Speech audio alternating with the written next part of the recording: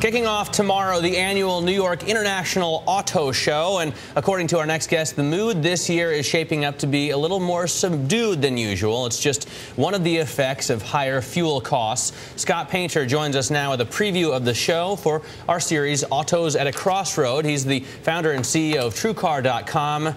There's nothing I like talking about more, really, so at least true. on TV, than cars. Um, you say it's going to be more subdued. It's kind of, it's not this sort of hot luxury. We're not going to see a ton of Lamborghinis and, and Ferraris here. Well, you're certainly going to see those cars, and I'm a car guy too, so I love going to car shows.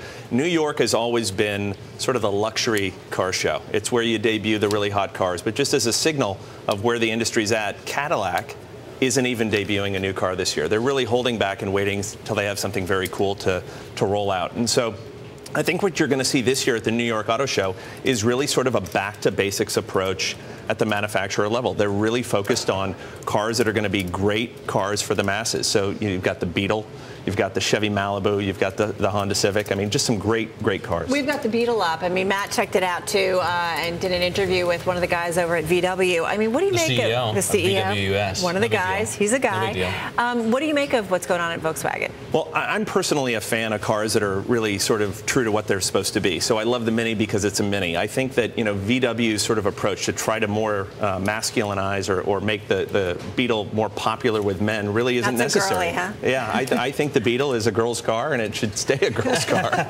I have to agree, but it is kind of lower, flatter, wider. It's kind of like a modern 356, if you will, and uh, they come from a similar, the same designer. Well, so BMW, I'm sorry, so Volkswagen actually has a great heritage and they've got great designers, as you say. They've got great engineering. So really the modern day Beetle benefits from all of that. Mm. It's still a Beetle though. It's really hard to take something that's got such a brand connection, such a identity all the way back to that original Beetle and make it something different. hang on, so the Beetle's a girl's car. You're not that impressed by it, but you love the Chevy Malibu. I do love the Chevy Malibu. I think it's it's really our first world car that can take on the Accord and the Camry.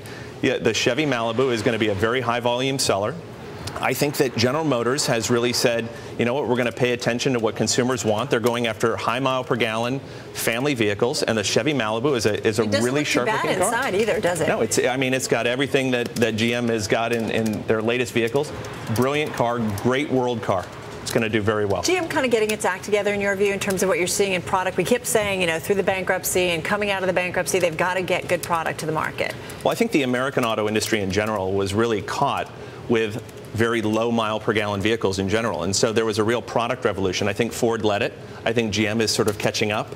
Uh, there's no question that even though you're starting to see a lot of SUV and, and sort of pickup sales, it's because the overall car market's very high. We're going to see another 13 million car month uh, uh, in terms of the sort of seasonally adjusted number. So the demand is still high, the numbers are high, but as a rateable number, we're very reactive to high gasoline prices. There's almost been a 30% drop in demand over the last 30 days in low mile per gallon SUVs and pickups. We see it directly. We see it directly. It's it's a very, very immediate reaction. Anytime gasoline goes over 350, And what, ab- uh, you know, that makes me think about trucks. Seeing uh, GM and Ford makes me think about trucks. Everything pretty much makes me think about trucks.